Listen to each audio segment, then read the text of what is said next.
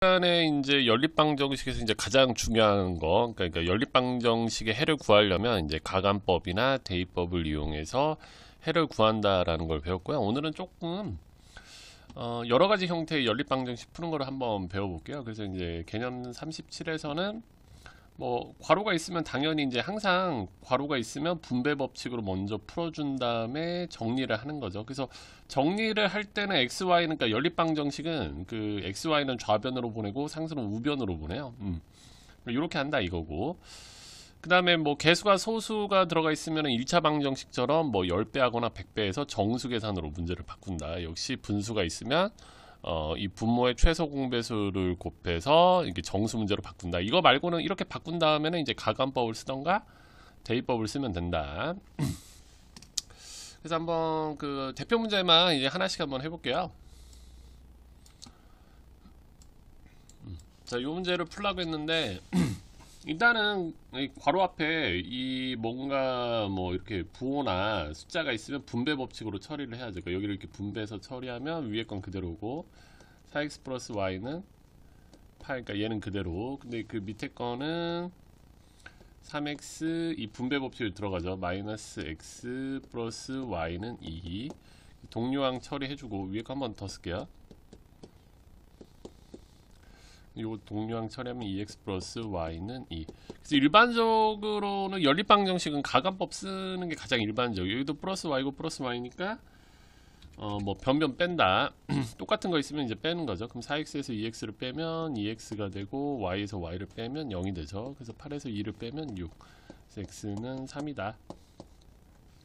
이 두 식을 만족하는 x값이 3이라는 게 밝혀졌지. 그러면 이 3을 뭐 여기 아니면 여기다 넣어서 어, y까지 구해주면 된다. 그래서 x가 3이니까 여기다 넣는 게 편할 것 같아요. 여기다 3을 대입하면 4, 3, 12 플러스 y는 8. 그래서 y는 어, 이렇게 넘기면 그래서 y는 마이너스 4다. 이제 이런 게 이제 연립방 정식이 되는 거죠. 음, 그러니까 당연히 괄호가 있으면 항상 분배 법칙 처리하고서 뭔가 문제를 푼다. 음.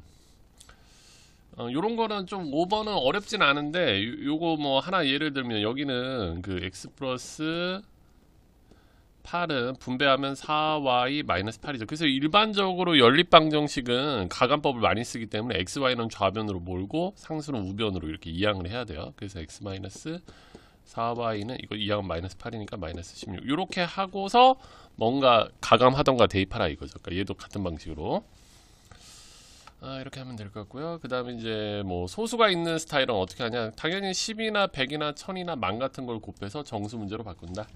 그래서 여기다가 이제 다 10을 곱하는 거죠. 이렇게 10을 10을 좌변에 10을 곱하면 2x-y는 7 이렇게 되고 여기도 다 10을 곱하는 거지. 그러니까 3x 플러스 2y는 마이너스 21. 그 다음에 이제 가감하는 건데 x를 소거할 거냐 y를 소거할 거냐는 보면서 결정하는 거죠. y가 소거하기가 좀 좋을 것 같아요. 여기다 두 배만 하면 그래서 윗식에다 두 배를 하면 4x 마이너스 2y는 14. 그럼 3x 플러스 2y는 마이너스 22 그래서 이게 지금 둘이 형태는 같은데 여기 플러스 마이너스니까 둘이 더하면 소거되죠. 사라지는 거지.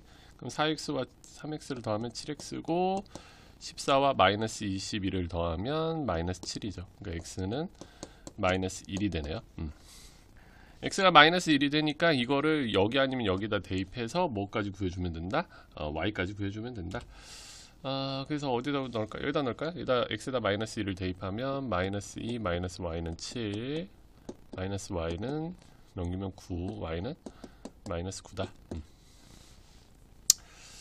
그러니까 여기서 이제 x를 소거할 거면은 좀 귀찮지 2와 3이니까 여기는 전체적으로 3배하고 여기는 2배에서 맞춰야 되니까 둘 다 살짝씩 변형해야 되잖아요 그러니까 그것보다는 이 y 소거하는 게 더 낫죠 여기 2배만 하면 되니까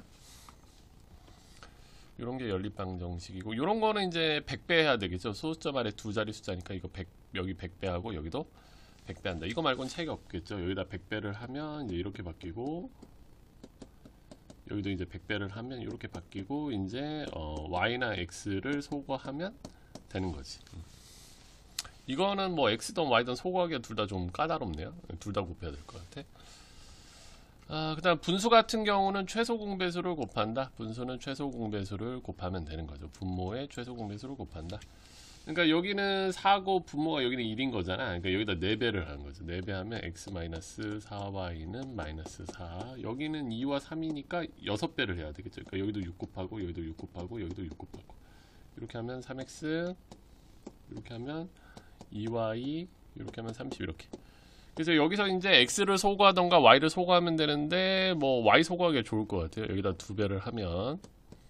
위에 건 그대로 쓰고.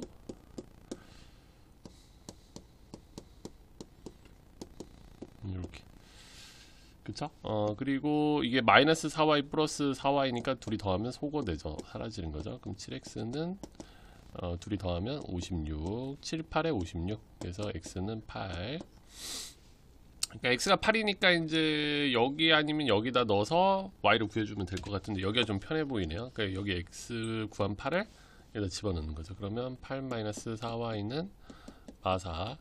그럼 마사 그러니까 마이너스 4y는 이렇게 넘기면 마이너스 12 그래서 y는 3이 되는 거죠.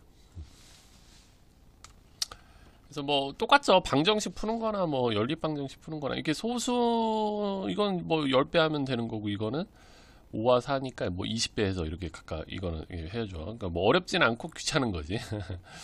그래서 뭐 어렵진 않다. 이거는 뭐 그냥 예를 들어서 뭐 여기는 10배 해주면 여기다 10배 해주면 이렇게 바뀌죠. 그리고 이제 분배해서 처리하면 되고 얘는 이제 여기다 20배 20배를 해주면 그러니까 20을 곱하는 거지. 이렇게 되겠죠? 여기다 20 곱하면 2니까 6 그래서 이제 이것도 가감법을 주로 쓰는 게 좋다. 음. 아, 그 다음에 이제 그 ABC 꼴이 ABC가 모두 같다 꼴의 이 방정식을 풀 때는 어떻게 하느냐? ABC가 같다라는 건 그러니까 이제 AB도 같고 AC도 같다 이렇게 바꾸기도 하고 뭐 AB가 같고 BC가 같다 이렇게 바꾸기도 하고 AC와 BC가 같다 이렇게. 그러니까 하기 나름인데 음 이렇게 셋이 같다 꼴의 연립 방정식에서는 주로 여기는 뭐 식인데 여기는 숫자다. 그러면 이제 요렇게 요렇게 매칭을 하고요. 이게 셋 다 식이면 그냥 뭐 아무렇게나 뭐 요렇게 요렇게도 되고 요렇게 요렇게도 되고. 그러니까 하면서 좀 보여줘 볼게요. 아 그래서 이제 뭐 대표 문제만 한번 보자. 음.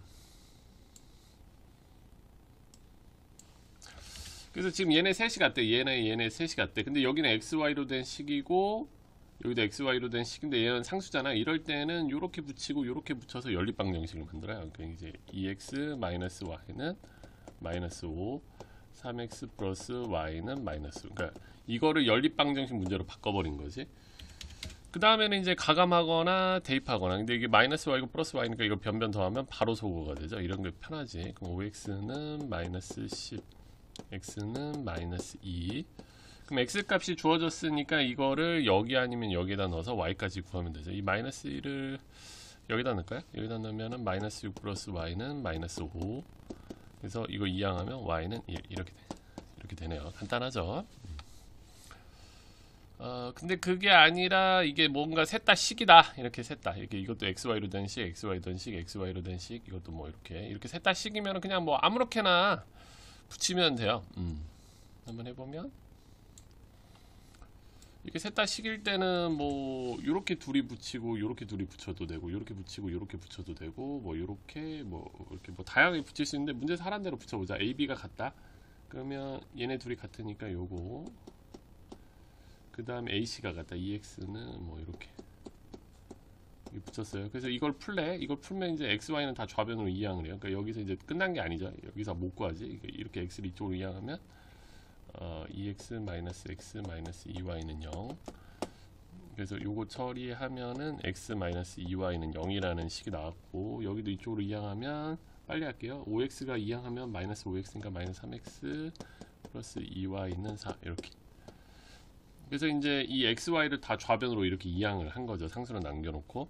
그 다음 여기서 이제 가감법 쓰는 거지. 어, 그래서 여기 마이너스 2y 플러스 2y니까 변변 더하면 소거가 되죠. 그래서 이거 둘이 더하면 마이너스 2x는 이렇게 둘이 더하면 4니까 x는 마이너스 2 x가 마이너스이니까 y 값은 뭐 여기다 넣던가 여기다 넣던가. 여기다 넣자. 마이너스 2 마이너스 2y는 0 마이너스 2y는 2 y는 마이너스 이렇게. 근데 이제 여기서 꼭 이렇게 붙이고 이렇게 안 붙여도 되고 이렇게 xy로 된 식이 다 있을 때는 뭐 이렇게 이렇게 붙여도 되고 그러니까 이렇게 풀어도 상관은 없다는 소리예요. 문제에서는 이렇게 했지만 내가 얘랑 얘랑 붙이고 그 다음에 또 얘랑 이렇게 붙여서 풀어도 동일한 답이 나온다라는 거예요. 그러니까 요 연립방 정식을 풀어도 답은 똑같이 나온다. 어떻게 해도 똑같이 나온다. 이것도 이제 같은 방법 쓰면 되고 뭐 다 이런 거. 그러니까 이런 거는 조금 접근하는 것만 조여주면 그러니까 이렇게 붙이고 이렇게 붙이는 게 나아요. 그러니까 이제 이렇게 그러니까 x, y는 좌변에 상수는 우변에 있는 모양으로 이렇게 바꾼 다음에 여기서 이제 가관법 써서 x, y 구하는 거죠. 이렇게 숫자가 있을 때는 단독으로. 근데 6번 같은 경우는 이게 다 식이잖아요. x, y로 된 식, x, y로 된 식, x, y. 이럴 때는 그냥 뭐 아무렇게나 붙이면 돼. 그러니까 이렇게 붙이고 이렇게 붙인다던가 아니면 이렇게 붙이고 이렇게 붙인다던가. 어. 그래서 뭐 이렇게 붙이고 이렇게 하나 세트 만들고 또 뭐 이렇게 하나 세트 만들고 뭐 그냥 하기 나름인 거지 여기서는.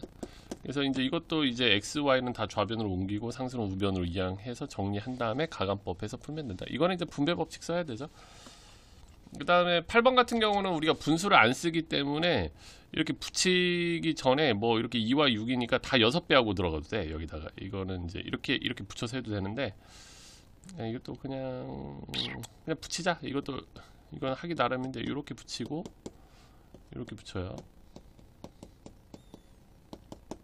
근데 이제 방정식에서는 분수를 안 쓴다 여기다 두 배 하는 거지 그럼 x-y는 4 여기는 3배 하는 거죠. 그럼 2x 플러스 4y는 6. 이렇게 바꾼 다음에 여기서 가관법 쓰거나 대입법 쓰면 풀 수 있다. 그래서 뭐 오늘 하는 거는 어려운 건 아니고 그냥 연립방정식인데 조금 복잡한 애들 이런 식으로 푼다라는 것만 알면 됩니다.